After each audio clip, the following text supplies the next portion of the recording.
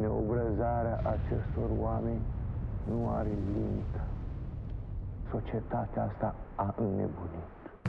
Vă propunem un exercițiu de înțelegere a tragediei prin care a trecut cultura română traversând o jumătate de secol de represiune a creației și a gândirii libere.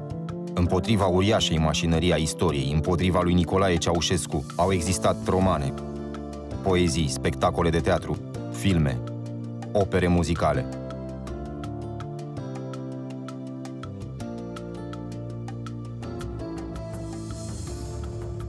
Rezistența prin cultură. Duminică, ora 16 la TVR2.